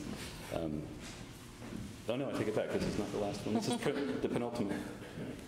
You endorsed me the previous time I ran for office, so I can probably count on your endorsement again, right? Well, not so fast, candidate Spitzer. Issues change and challengers improve, and uh, lovers quarrel. And uh, don't phone in the endorsement date just because we came with you to the dance last time around. Um, here's one that uh, is my final fake question, but it's also a freak one. I had a terrible experience, Jason, with the Planning Commission when I was applying to add a 3,000 square foot extension to my Blythedale Canyon estate. Should I run for city council on a platform of cleaning up City Hall? Let me tell you a little secret, Mr. Blythedale Canyon Estate. It's not all about you. Now, to be honest, a lot of people do run for personal reasons. Something stirred them to action. They had some experience that uh, caused them to start really considering for the first time that they wanted to maybe serve a little bit. But don't name that as your first and foremost reason to the press. Um, actually, a pretty unimpeachable reason is like, I want to serve the community. Uh, we probably know that's BS, but it won't lose you any points. What you don't want to do is define yourself as the candidate who never considered cleaning up the stable until she stepped in the shit. That's it for the fake questions that you know you no longer have to ask. Well, so if I For the real understand ones. correctly, the appropriate role of the campaign manager is to help the candidate with his press releases to help you find him and his news. That is an excellent response. Yes. Thank you. Yes. Are there any other questions? Anything about newspapers? Anything about the campaign? Yes. Um, In this world of uh, tweets and people being so busy, we're encouraged to provide very short messages. But sometimes the issues are deep, technical, heavy on facts, regulatory, whatever. How deep do, do the press like to go in these interviews? Uh, yeah, there's no such thing, at least if I'm receiving responses and I'm reading through people's responses or having an interview with somebody and they have a lot to say about it and they're very knowledgeable about it, um, don't worry, don't be too brief. Don't be too brief. If the question calls for a detailed answer, we want that detailed answer. That's going to tell us that um, you know a lot about it and that you're at least and you're willing to discuss it in as much detail and nuance as you can. I think short answers might be better for voters. I don't know. That's not where I come from. Yes. Thank you, that's helpful. Yeah. I have a question, if nobody else does. Um, So d- how much investigation do you do of candidates before they come sit in? I mean, I hope it's more Oh, we- I do a lot. Okay, so you check their donor list? Yeah, we check donor lists, and we talk to we talk to people about them. We talk to um, people that are On the involved. Facebook page? You look for pictures of them in drunken, uh, you know, I mean, but do you do any like research about, for example, big donors, votes that for incumbents might have taken, for example? Not that I think of any particular candidate, Assemblyman like Levine. yeah. I mean, Some of that stuff's easier than others. Um, in that assembly race, we were aware of, of that stuff. In smaller, in smaller races like water districts, uh, healthcare districts, even it's not a small race, but it's not as high profile as even city councils. Um, yeah, the donor lists can sometimes have a red flag, but our re- my research often goes to I talk to our writers, I talk to people I know who live in the community who are in, who are on top of it, and uh, talk to past, um, perhaps people that have served on the same board in the past that aren't really on the scene anymore, maybe a retired councilman who uh, I've respected, uh, something like that. Get their opinion. Um, ultimately, uh, to be honest, when, when it, uh, the interviews are happening or we've often developed a bit of a lean in some directions, and that's unavoidable. And sometimes you got to come in there thinking, if he's even developed a lean, I'm going to lean him back. And that happens too. That happens all the time. Thank you. Oh, wait. How do you deal with messages that have been, by some people, deliberately confused? So for example, I'm opposed to X, which always seems to come out as I'm opposed to Y, right? So X is a bad thing, Y is something that everyone recognizes as a good thing. How do you deal with that kind of, you know, and the people who are in favor of X often say, but it's the same as Y. And if you think about it for five minutes, it's not what they say it is. So you get a situation where you say, I'm opposed to X, and what gets printed is, I'm opposed to Y. Well, my answer to that is um, be detailed if you're dealing with the media and make that, look for those trouble spots and troubleshoot those um, by just making it very clear that either that's not the case or that is the case. Um, a lot of times people are opposed to things, but they don't offer up a better alternative. And I'm always way more impressed, whether I like the alternative or not, at least you're kind of putting yourself forward and saying, well, I'm, I should replace this candidate because they uh, favored Plan Bay Area. Let's just say that, for example, because we haven't heard that one. And, um, but a lot of times they don't come up with a better alternative, or they say, we could, we could discuss this more. You might be right, but I'd like to hear an alternative. And whether I think an alternative is as valid as what you're opposing, I like the creativity and I like the thoughtfulness. Thank you. Thank you. Brad? Hi, I'm Brad Breithaupt. I'm the editorial page editor at the IJ, and I've been doing this for about 10 to 12, 15 years. Um, so I've had a lot of uh, chances to meet a lot of candidates. Uh, and one of the reasons I accepted the invitation was because if you're running, you will generally get a call from me in the, over the next two weeks inviting you up to meet with the editorial board. And the edit- IJ editorial board, which you can find on the top of the website or the, the uh, paper, is the uh, publisher David Rounds, uh, our editor Robert Sterling, myself, and we have a public member. Public member is always invited to attend the meeting, but they don't have a, uh, a vote in our endorsements. Um, And, uh, and we bring all the candidates in uh, to meet in sort of a roundtable discussion um, on the issues, starting out with who are you and why you're running. Um, And I've heard the gambit of those. Uh, And then uh, uh, we have, generally have some questions uh, that shouldn't, that most of which shouldn't come as any surprise to anybody who's been reading the IJ in terms of uh, knowing what, uh, what the issues that the editorial page and the, uh, our pages uh, focus on. But um, it's surprising how many people show up not prepared to answer those questions. Um, the, uh, uh, the, the meetings take about uh, 45 minutes to an hour. Um, everybody gets a chance to speak. Um, we look for uh, not only somebody's opinion on the issues, but we look for their command of the facts and the issues, um, and sometimes their misuse of facts and the issues. We also look at uh, the way they behave. Uh, we've had cases where I've had to put on a uh, striped shirt and a whistle and uh, tell candidates to uh, be a little bit more polite. I think uh, the uh, the ability, the, the, the sense that you wouldn't mind serving on a board with somebody uh, is is important. Um, and there are people who come across that you really don't want to spend two and a half hours with that person and get out at a meeting at like 12:10 uh, a.m. Um, but all those factors come into play in terms of our, our making our endorsements. Um, we try to get the endorsements out before the uh, ballots go out, before voters get a chance to vote.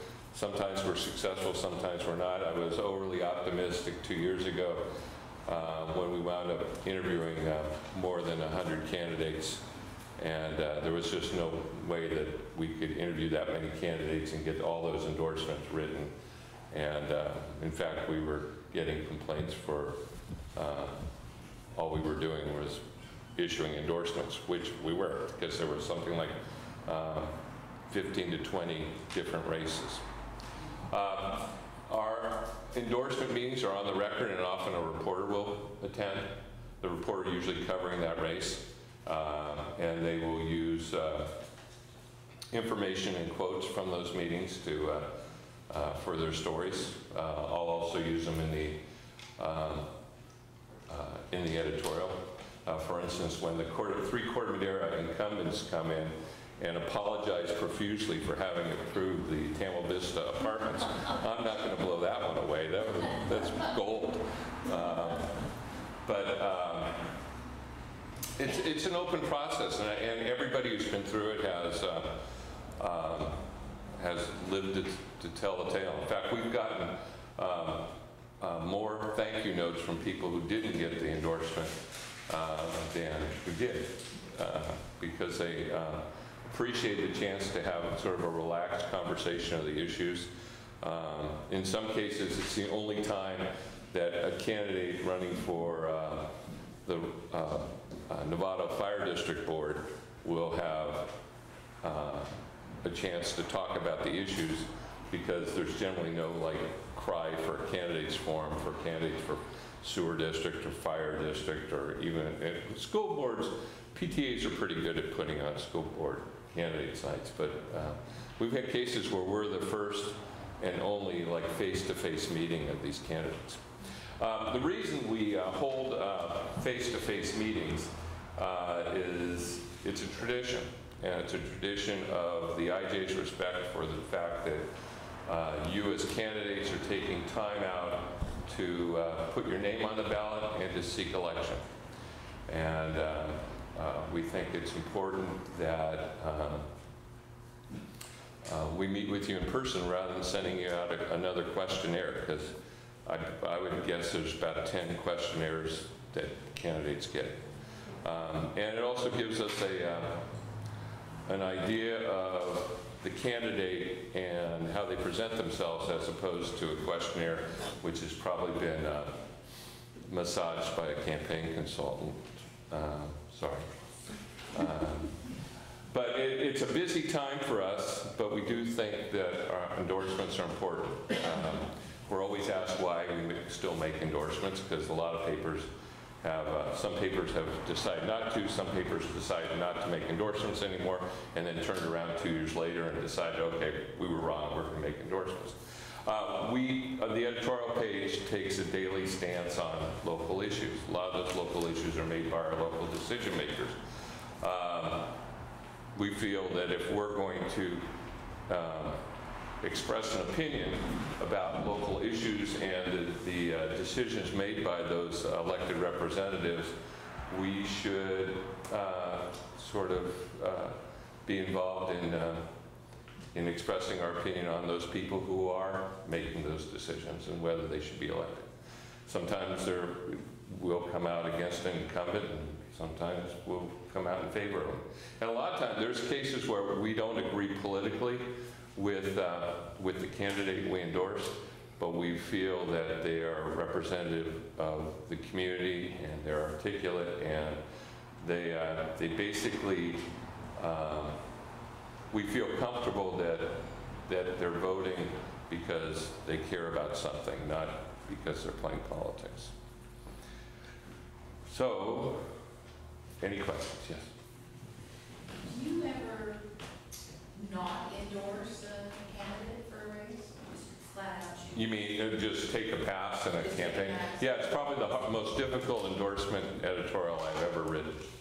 Um, I mean, there are times when th- there's a race in Muir Beach or Bolinas or Stinson Beach or Petaluma that I just feel really guilty about having somebody truck over the hill to, uh, to come meet with us. And there's probably not, we don't have that many readers in Bolinas anyway.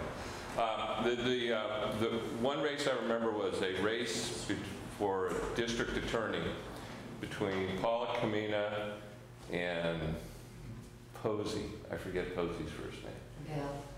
Yeah. And they were, uh, they were so rude and obnoxious to one another that our publisher at the time said, we're not going to endorse e- either one of them. And we wrote the endorsement as a, uh, the, the editorial with a no endorsement. And I pleaded with her, telling her how difficult it was to write it, but she, uh, uh, the publisher has more votes than I do, and and the editor. Um, and it's not very often I've had a publisher exert their, uh, uh, or put their foot down on something, and she put her foot down real hard on, on that one. The other one we, we had difficulty coming up with an endorsement was the uh, Michael Allen, Marc Levine race. But we uh, eventually uh, endorsed uh, Michael Allen. And that, was, that race, the issue was if Marin County had a bill that it needed to get passed, who would have a better chance of getting this bill passed, Michael Allen and Marc Levine? And at the time, it was pretty easy to say Michael Allen, and that's what we based our endorsement on. Um, But there were reasons that we weren't impressed with either candidate, and that's why we were, uh, it was a difficult decision. A lot of times you'll find that the difficult decisions are the ones, the editorials that show up at, at the end. Uh, For instance, when there was a race for assessor, Richard Benson against Shelley. Scott. Excuse me? Scott. Shelley Scott. And uh, Benson's a hardcore bureaucrat, nice guy, but just really dull um, uh, technocrat. And Shelley showed, she exuded no outward confidence or enthusiasm about being the assessor. And uh, we, you know, you got to show that you really want to be in, win the office that you uh, that you're seeking, not that you just want to beat the other guy. And uh, we uh, we wrestled for that with that endorsement until I think about three days before the election. Thanks, Brad. Okay. Thank you.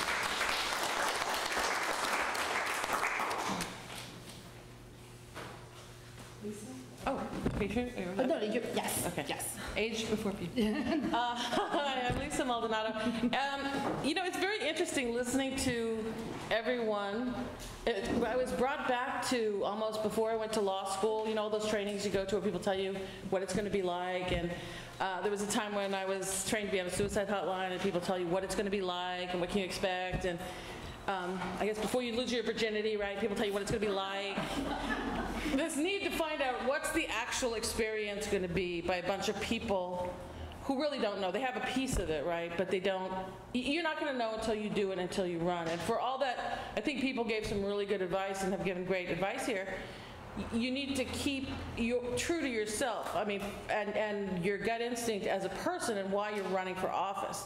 I'm one of those people that. Um, my politics is driven by issues. Mainly right now, I mean, a lot of issues, but mainly right now it's about the working class, working people, rebuilding the middle class. And I think of myself, those are the issues that concern me. Inequalities, income inequalities, uh, people having health care, families being able to have good jobs and not have to, people not having to work two or three jobs and not see their kids. You know, kids who don't have to worry that they won't have a place to live in, kids who know that their parents have a good job, pensions, ability to retire in dignity. That's what gets me in. So the kind of current political discourse, which is very high school election, I want to be popular, I want everybody to like me, that kind of, ugh, I don't like it, you know? I, I get that that's how people, some people do politics. I get that some people think it's all about, you know, chasing every single vote. Um, but I tend to look for, in politicians, people who are really leaders uh, people who can say the right thing and don't have to do this and don't have to run out of focus group. Because I think you need to be smart enough to find an issue and then frame the issue for different, you can certainly frame the issue for different people, but the principles stay the same. And for us in the labor movement, especially because labor and unions have constantly and consistently been so attacked, we need strong people, and we look for strong people. We don't want the milquetoast, middle of the road person who can't say the word union. We don't want the person who's afraid to stand up and say, I support working people's right to collectively bargain. I'm proud to have the support of a union. I believe in collective bargaining. I believe in democracy in the workplace. I believe that every person, no, no one should, you know, work 30 years and then have to get their health care at an emergency room because they didn't have a pension and they don't have good health care. So I, if you, we have a threshold, right? And, and certainly like everybody in politics, there's been Sometimes you gotta go for the bottom of the barrel, you gotta go with what you got. Not every candidate meets it, but I think we've been pretty lucky out here especially because I think that this is a very progressive area. I think people here, um, you know, especially Marin, I used to, I used to work for the ACLU, I worked with, um, uh, actually Paul Cohen's mom was one of our um, AC, local ACLU chapter people. And uh, I, I always wanted to retire in Marin because I thought this is where like all the old radicals go and they're still organizing at their senior center and fighting for the rights and telling the people in their senior center, you work too hard, you should, you should have better health care. And um, that's the kind of person Martin was, that's the kind of people I think of as Marin, but I think that like a lot of current politics, that's changing. And you're getting some people that are much more me, I got mine, screw everybody else, keep everybody out of here. And I think that for political leaders, for any kind of leaders, we need people who can stand up to those folks with a great vision of our country and our community and bring back everybody. So um, I like working with people like Dottie and, and Steve and, and uh, Paul because I, I think that they bring that to their, they're not just the usual, I mean, I don't say the usual political hacks because, but they're, they care about issues too. People in politics, if you don't care about issues, I kind of feel like, who are you? What are you doing in politics if you don't want to change things, make things better? Then you're really all about, you know, it's a popularity contest or who is it the comic says it's uh, it's like Hollywood for unattractive people. It's like what's the what, what's the point, right? You know, with all the jockeying and who's on what commission, who's going to get this.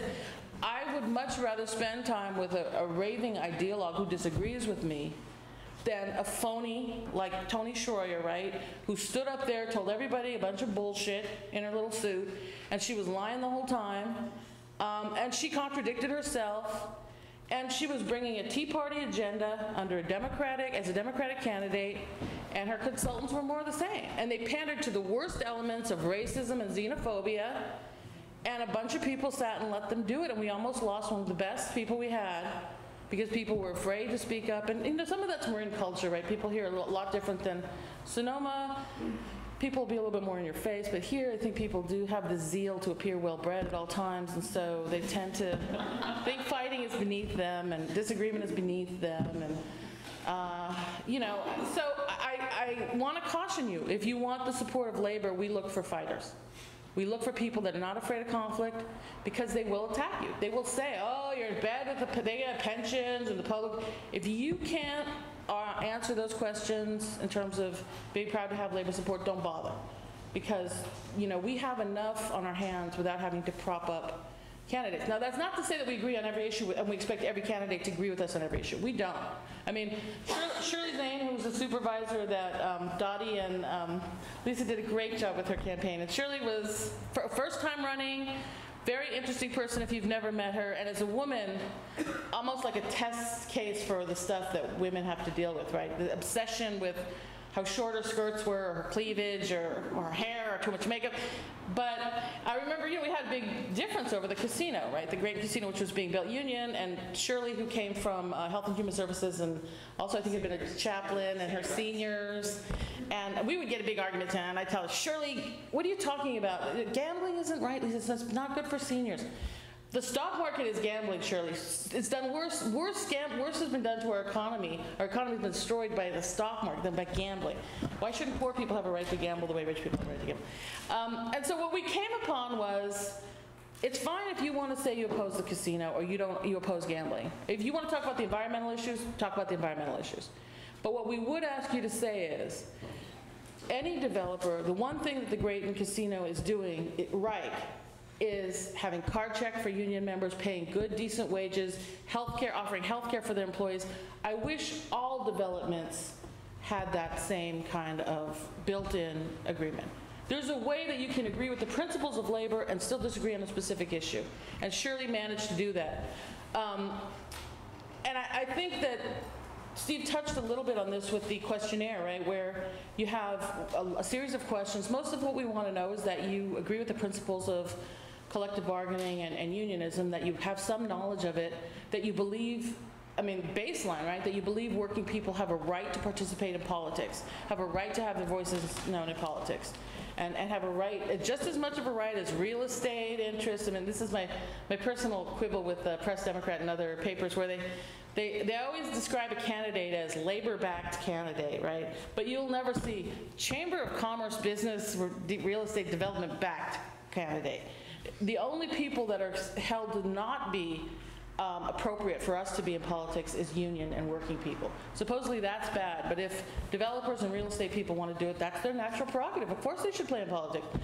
So um, in terms of, I know one person asked a specific question about unions, and I, I, there's so, unions are, it's a vast world. I grew up in a union household. My dad um, came here from Mexico picking cotton, strawberries, and uh, he had a third grade education. When he got here, my grandpa helped get him into the laborers union. My grandpa had been in the general strike. He was a cement mason. He organized mushroom packers. And um, when my dad got into the union, that changed our family's life. I mean, we were able to have health care. We went to Kaiser, I remember the first time when I was eight. We got, you know, we were able to buy a house. My brother and I went to college. Unions brought the middle class to our family. You know, and again, my mother was a teacher, so she was also a union. She was a strong union person. She was our steward. She was, you know, very involved in California Teachers Association. And I saw that benefit of bringing people into the middle class. People who historically would never have made the amount of money that my, my, and it wasn't a ton of money. My dad was a Teamster. He ended up being a truck driver. He didn't make a ton of money, but he, di- he had health care and he had some other, uh, he was able to save. He didn't have to work, you know, day labor or jobs without, that, that had no future. And he also had protection. Because he told me when he used to be a farm uh, worker how, you know, they'd call the immigration on them as soon as they had picked all the crops so that they didn't have, and then take them all away. And he always told me this one story, this, uh, this one guy, uh, this one immigration officer, who marched all of them up to the, to the farmer. Said, okay, I'm gonna take these guys, but you better pay them all first. You pay them what you owe them first. And that was once, I mean, he was thrilled about it. That was once, that happened once. So I feel like I have a duty to kind of evangelize about unions and unionism, and I try to do that. It's not to say I don't see the warts, and I know that there's hard questions about unions and difficulties, our job at the Labor Council with our candidates, actually with anybody who's interested, is to help people navigate these questions. Help people be able to talk about pensions. Um, right now, the right wing has kind of grabbed the um, uh, unfunded liability bullshit, and that narrative keeps spinning it out, right? But there are arguments, and up here especially, the majority of people support, um, you know, unions, workers standing together, collective bargaining. So um, I, I want to let people know that, you know, you should definitely contact us. I'll leave my card here. I'm, I'm easily accessible on Facebook, as is the Labor Council. Um, There was a specific question, yeah. Um, one, We we I was- really have to wind up. I'm sorry, I talked too long. I want to just let him have his question. He waited a long time. Okay, so as CEO and president at the Silver site, I'd actually negotiate with local aid. But my question is, so it's not like attacking either way, it's really how do you reach out to the unions that are already supporting an incumbent to try to direct that support to a new candidate? You should always introduce yourself, and they should always allow you to, they should always return your call, and at the very least, set up a meeting with you to interview you. That's, you know, unions are individual, and they have a great degree of autonomy, so not everybody does everything the same way. Some unions just meet with a person for lunch, and, and that's how they decide who the person has the best, if that person has what they think is good labor credentials. And others subject you to a questionnaire and a rigorous process, and then they vote on it. It depends on the individual union. But I would be happy to sit down with you. If you're in the port, like I, I want the woman in the San Mateo, you know, you need to talk to the, the ILWU, you need to talk to the Teamsters. There's specific unions. If you're in the hospital district, obviously you want to go for the nurses and the doctors, but you also want to go for NUHW or SEIU UHW, which has the majority of healthcare workers there. You probably have Teamsters at your hospital. The Teamsters are, are big players in the hospital district. I know they're interested in that race. Um, so you, there's a whole bunch of unions that you may not know about. Just the, the top ones might come to mind, but there are a lot of other unions. And you know, the union movement, they tell you it's like a family. What they don't tell you, it's, it's kind of like the like the Manson family. No, like the, um, so, so I will be happy to spread information, talk to you later after, afterward. More questions afterwards, I want to continue. Sorry, No. go ahead, girlfriend. It's all good. And I'm like, looking at, I'm looking at you. Hi, good evening. My name is Maureen Denieva. I go by the nickname Mo. Um, I wear many hats in the county, but um, the most proud is that I am the Secretary of Marin Women's Political Action Committee. I'm also the Secretary of Marin County Young Democrats, which I'm representing tonight. But more recently, I was appointed by unanimous vote by the Board of Supervisors to be the at-large representative on the Marin Women's Commission. And that in itself just goes to show that anybody can run for office. Boards, commissions, um, putting your hat in an elected race, that's the ultimate form of volunteerism. So I want to say kudos to all the men and women who came tonight because even if, say, you don't win your race, that is the first step of visibility. So the next time you can run, or maybe you might try something that's lower hanging fruit and really develop that in a board or commission in your community. Um, Tonight, we've talked about a lot of different things and issues, but the baseline is what are you committed to? You ran all for a reason. And so tonight, with our segment about endorsements, we, as representatives of either the press or union or a partisan organization like the Marin County Young Democrats, we're asking the candidates, what are you committed to? Literally, like Lisa said, we're cutting the BS. I can't swear. but we're cutting the BS. And so, um, although most of you are running for nonpartisan seats, tonight I'm speaking from the perspective of a partisan organization. Marin County Young Democrats is a group of young Democrats who are eight, between the ages of 18 to 35, dedicated to democratic values. In our mission statement, for specifically Marin, we recognize that 60% of the people who work in Marin can't even afford to live here and they commute. So specifically for diversity and inclusion, we put in our mission statement our values that every member is someone that works, lives, or goes to school here in Marin. When you're seeking an endorsement from an, um, an organization or the press, make sure you know what their values are. You know, you don't have to be everywhere at every point in time. If you're stronger with Facebook, if you're stronger with, um, you know, Instagram, go with that. Um, if you have, you know, what's realistic to you. This is how our endorsement process works. We are an organization that started in 2008, and we've had many waves of leadership. We're in our third iteration. But what's exciting about our group today is that we're always evolving based on what's going on with the Democratic platform. Our system is this. Yes, you can come to us, but we actively look on the list, which is different. Someone said about the um, candidates, it's really difficult to look up in a nonpartisan race, do our research about who's a Democrat and who's not. So if you are, feel free to reach to us out directly. It would, it would help us. But you know, we reach out to candidates and we say, hey, we're this organization. We endorse Democratic candidates. You know, we would like to invite you to be part of our endorsement process. And this is how it works. Leading up, usually, if it's a November election in the month of September, we will give you a two-week turnaround time for a, um, a questionnaire. Now, this questionnaire is different from a lot of other groups, but this is how we based our questionnaire. We looked at the values of the Democratic Party specifically the California Democratic Party. And we based our questions in a box. And if you email directly, I'll be happy to walk you through that process. And uh, but it's check boxes. And as Steve talked about, these questions aren't necessarily about how you feel about charter schools, et cetera. It's do your values, the way you vote, the things that you're committed to, do they align with the values of the Democratic Party, who we are trying to represent as young Democrats? And that's the core issue. You know, for us, the second part of the process is that after you give your questionnaire to us, we send that question out to our entire membership, and they are required to read it word for word. And for those candidates, there are some in the past who felt that their intern could cut and paste their answers from other endorsement questionnaires, or they could just provide bullets. We aren't stupid. We are just like you. We voted and registered to vote at the age of 18 because we were committed to making sure people, people like us who held our values were in the offices that, that are around us. So please consider our vote just the same as anybody else's. So we read those for sure. Grammatic errors, we will take into consideration, absolutely, because it shows that you invested time in our organization and our endorsement.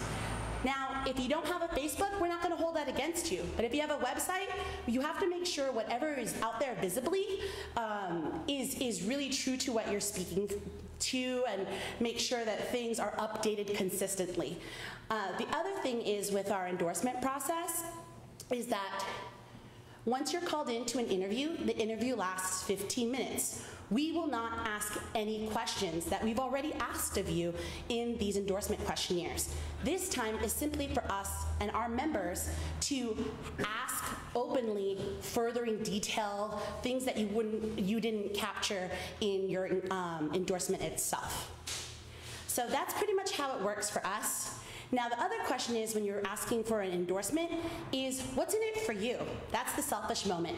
What can this organization provide for you? Some organizations can provide a monetary donation to your campaign. And some, like ours, is more about the time, talent, and treasure. We do not give monetary donations, but we give you people power. So if you get an endorsement from the Marin County Young Democrats, you're getting our access to our Twitter account, to our Facebook page, to our website. You get a dedicated phone banking day from us or a dedicated campaign walking day from us. And so that's what we can offer to you. So when you're spending time trying to figure out which organization am I going to get an endorsement from, make sure you're getting also a bang from your buck from putting your time into it as well. The last piece that I want to say before I open the floor to questions um, is that it's all about your heart.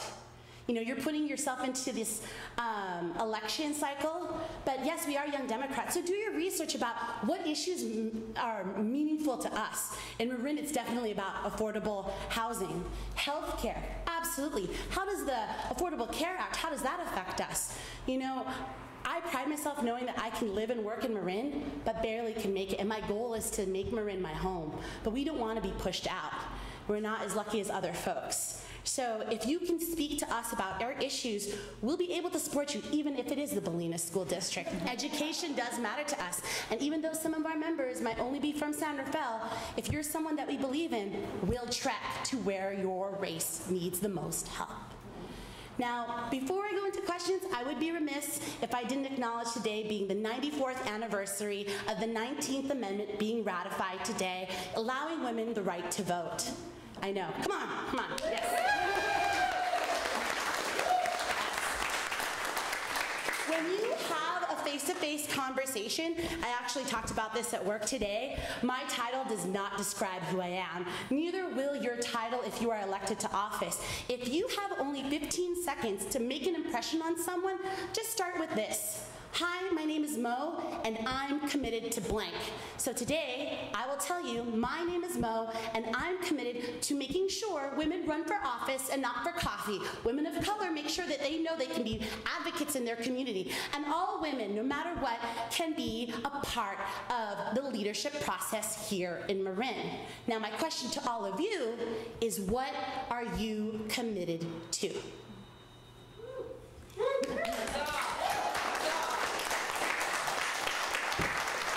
I'm very happy to take questions at this time. Yes. Can we vote for you? Not yet. I gotta get my. Someone asked me that, and I said no.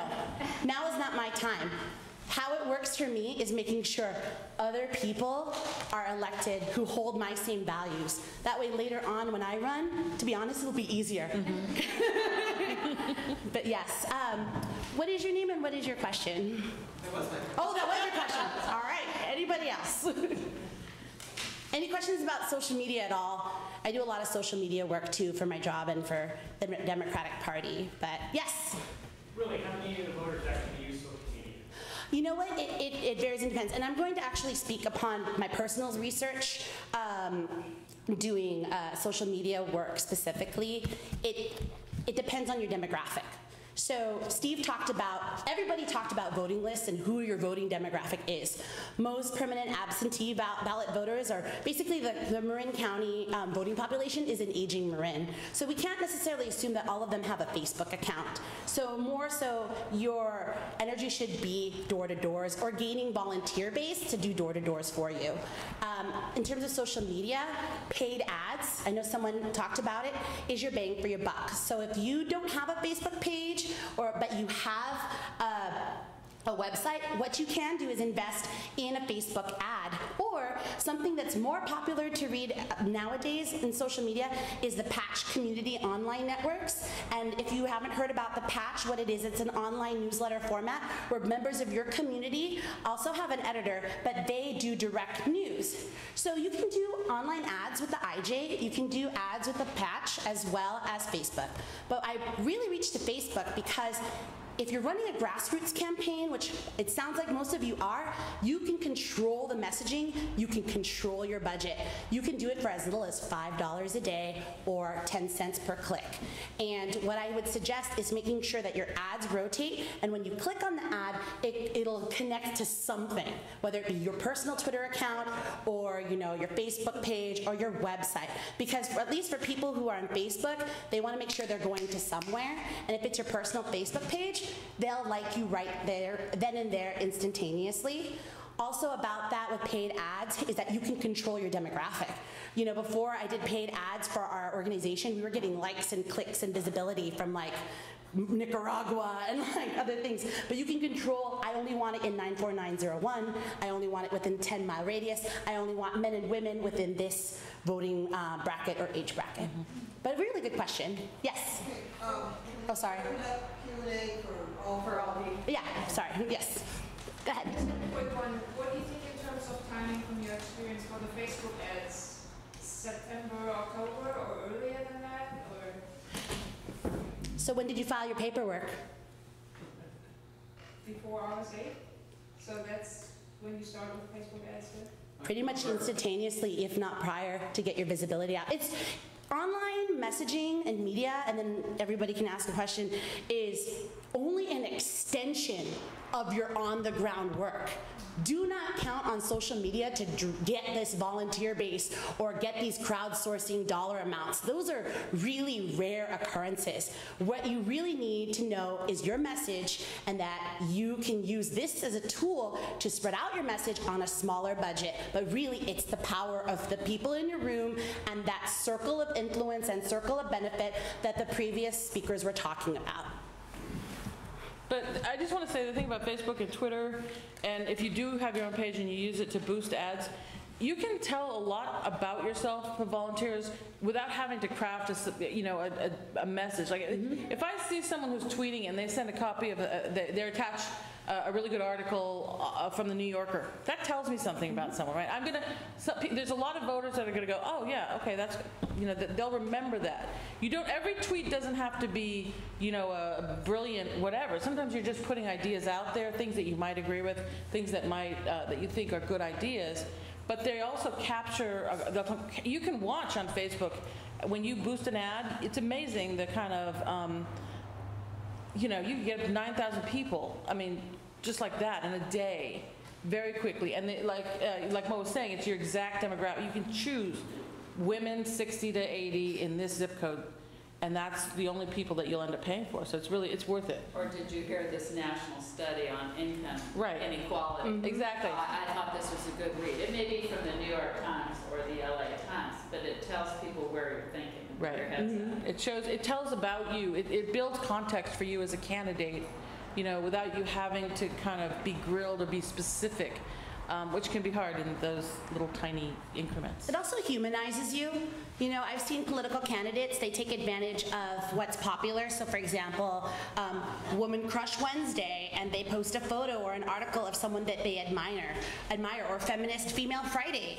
Um, you know, these are things that you should, should know of. You could do a quick Google search about it. But my favorite is definitely um, Throwback Thursday. I know a candidate out of Sonoma County.